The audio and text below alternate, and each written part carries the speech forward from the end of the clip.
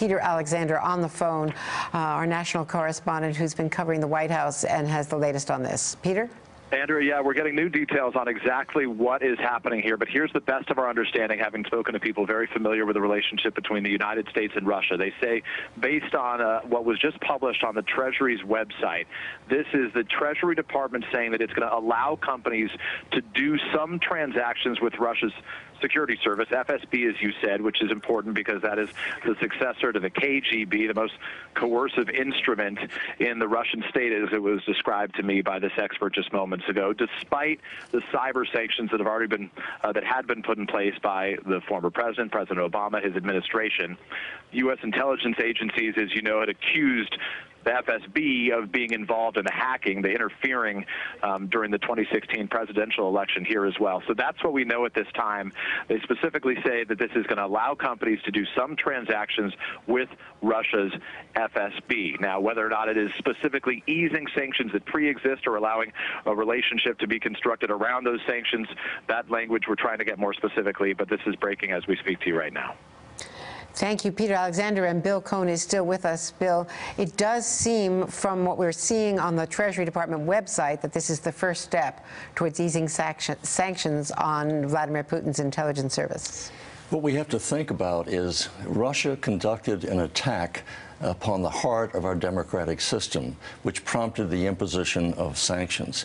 For the president to now send the signal that he's going to weaken those sanctions will undermine all of our allies who have followed our lead and thereby reward President Putin for not only having annexed Crimea, destabilize the rest of Ukraine, but attack the United States uh, through a cyber attack uh, trying to alter our election.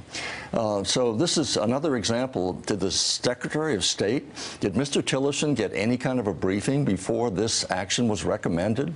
Is this simply going to be Treasury making the decision, not the entire team? So now Mr. Tillerson has to go and defend this to all of our allies who have taken considerable risk economically by imposing these sanctions? This is not uh, um, this is not working in, in a fashion that needs to work. But if it's going to be ad hoc, we're going to have another uh, rabbit hole that we're running down. We're running down this rabbit hole from yesterday's. Uh, uh, he's going to keep everybody guessing on their feet and not being able to really focus on the key issues, and that is focus on what needs to be done to preserve this country.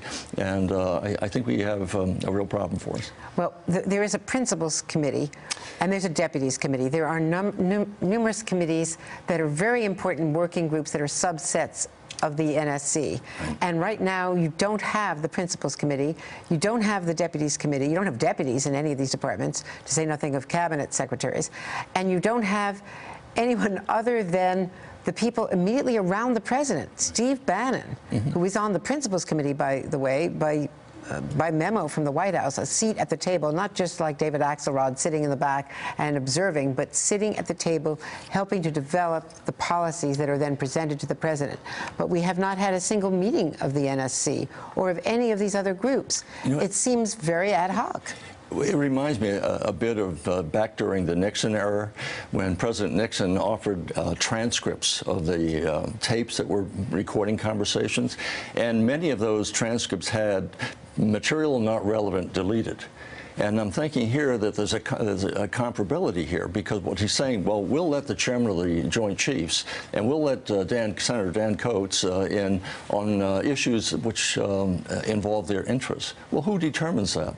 Uh, you're cutting the uh, the chairman of the, of the, Joint Chiefs of Staff. He ought to be in every meeting, unless he decides not to come, not to have the White House decide the chairman of the Joint Chiefs really doesn't need to be here. Why and, not? And let me just point out that you were a freshman House member on the impeachment committee of Richard Nixon. You had to deal with this in real time and had to deal with the challenge of an impeachment of your own party's president.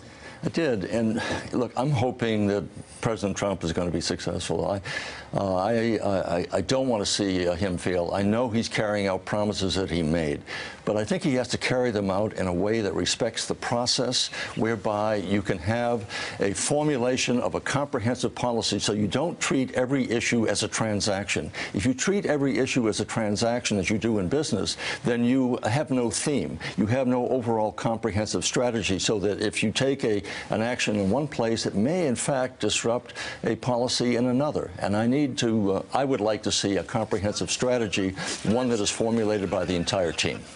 Hey there, I'm Chris Hayes from MSNBC. Thanks for watching MSNBC on YouTube. If you want to keep up to date with the videos we're putting out, you can click subscribe just below me or click over on this list to see lots of other great videos.